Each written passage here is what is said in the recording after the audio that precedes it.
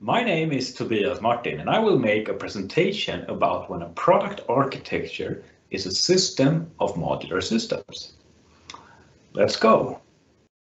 In our last webinar, I explained that the modular system is a collection of building blocks that can be configured in different ways, adapting for different customer needs over time. The most obvious and traditionally known way to create modular systems is to group a number of products into platforms that share technical properties like technology and sizing, and supply chain properties like factory footprints and supplier base. The system in this case is scoped as an end-to-end product.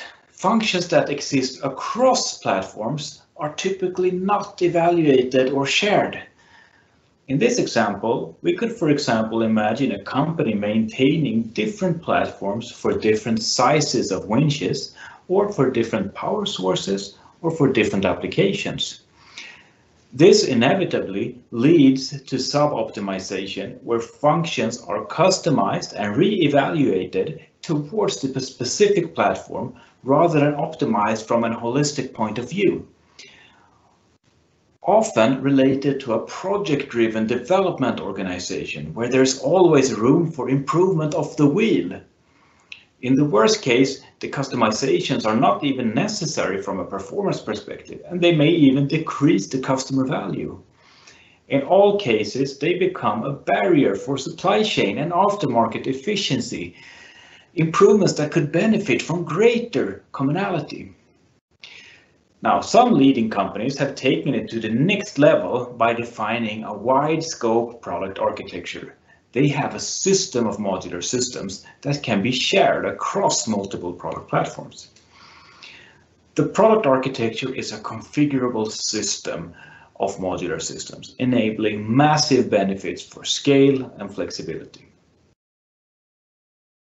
One example of such a leading company is the Volkswagen Group the world's largest auto manufacturer. Volkswagen has consistently pushed the boundaries of product platforms and architecture, marking the direction of the whole industry. I often use them as an example of all sorts of benefits connected to modular systems. In this presentation, I will use Volkswagen to explain the concept of high-level product architecture and shared modular systems. In the early 1990s, Volkswagen pioneered the use of shared platforms in the auto industry. Volkswagen had acquired Audi in the mid-1960s, Seat in 1986, and Skoda in 1991, and they were manufacturing more than 20 different car models.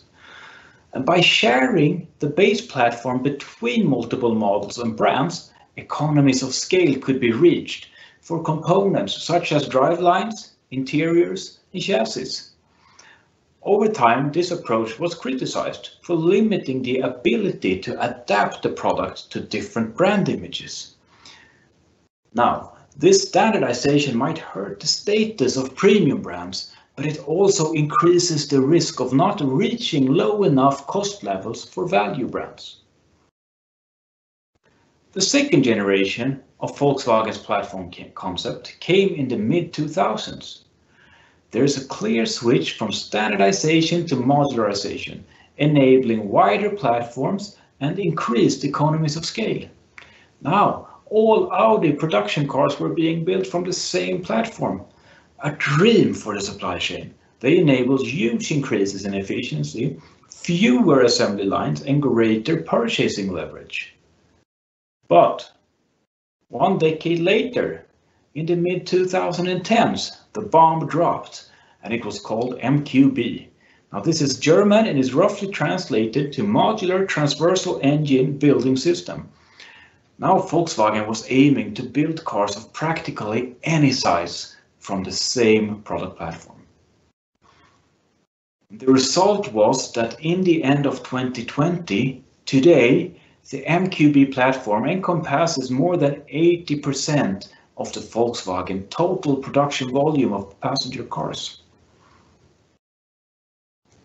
Now, a modular system does not have to span the product end to end, and I will use Volkswagen here as an example to explain what a product architecture is, what a modular system is, and how modules relate to these concepts. But first, as already mentioned, I define a modular product architecture as a system of modular systems that are configured on all levels. Here I illustrate it in relation to an end-to-end -end product. And we can see here that the end-to-end -end product uses system A, system B, and system B, C to build a product. Uh, and in this example, we can see that system C can be covered by one modular system crossing all the three product platforms that we see here. System B is shared across two of the three platforms, and system A is specialized towards each specific platform. Both system A and system B are specific for platform 3, and this opens up a possibility for further integration between these systems in that case. Now to date, Volkswagen has a number of modular building systems. They have MQB, as already mentioned, but they also have MLB for longitudinal engines and MMB for mid-engine cars. And for electric drivelines, we have the MEB and we have the PPE. So now it sounds like they have a lot of different platforms again, right? But in actuality, uh, these platforms mainly exist, these other platforms, other than MQB and MEB, because Volkswagen has many premium high performance cars in their portfolio, especially under the Porsche and Audi brands. But as mentioned earlier, the bulk of the volume covered is covered by MQB. What's especially interesting to note is that this platform and all the other platforms are instances of the same configurable product, architecture. So what I mean is that the different platforms can be built by the same underlying configurable modular systems. To explain this concept, let's look at the MEB platform. And now the MEB is Volkswagen Group's first all-electric platform. It's built completely around the electric drivetrain, and obviously one of the most important parts of any battery-powered electric platform is the battery. And here comes the point. The battery is actually a modular system of its own. A modular system that can be shared with the other electric platforms, including, for example, the PPE for the premium high-performance electric cars. Now, the important factors for configuring a battery are how much space you have at hand and how much energy you need to store if the different platforms can share the same high voltage interface and the same battery footprint logic, there is no reason why this modular system could not be shared across the platforms. Now this is a modular system that can be configured to deliver different levels of battery capacity, different charging performance, and towards different available footprints. Many of the modules inside the system can be standardized for an enormous volume consolidation, so this includes, for example, the cell module, the cell management controller, and the high voltage connector. And this creates huge benefit when setting up the new battery supply chain. And now Volkswagen has even hinted that they want to sell their electric platform to other car makers, further expanding on the consolidation of volumes and making the investments in development and supply chain even more profitable. To add some clarity to this, let me put some words from the MEB electric platforms on the boxes in the earlier modular product architecture illustration. So we see here a chassis system, a drive system, and a battery system. And even though we see distinct platforms for, for cater for different product categories, different car types, we can imagine the module system shared across these platforms. So a platform now is a configuration of the underlying module systems. Module systems that could either be flexible for many platforms, like we see the battery system in the, this illustration, or specialized towards a specific platform for maximum performance or optimized cost. Finally, you see modularity on all levels and an extremely systematic approach that can be leveraged across the functions of the company. For example, R&D, production, product planning, and sales. And the very same thinking can be applied in many other product segments in both industrial and consumer goods, like appliances, machinery, different types of equipment. For example, the home appliance industry. The tradition here is to see different types of appliances as different product platforms, often multiple product platforms for one appliance type. Now, they would say that they would want one modular system or one product platform for washing machines and another system for dryers. While this makes perfect sense from a functional point of view, it lacks the perspectives of industrial design and production. Since the washers and dryers are typically used in combination and located together in our homes, you clearly want them to have a common design, both for aesthetics and for user interface. So from a modular system standpoint, it makes a lot more sense to see the front panel and user interface as a shared modular system that goes across product platforms, rather than as parts within different platforms that we have to align constantly as, they, as these platforms evolve independently. Now, if we see them as a shared modular system instead, we can introduce updates to both the styling and the user interface simultaneously across these two product lines.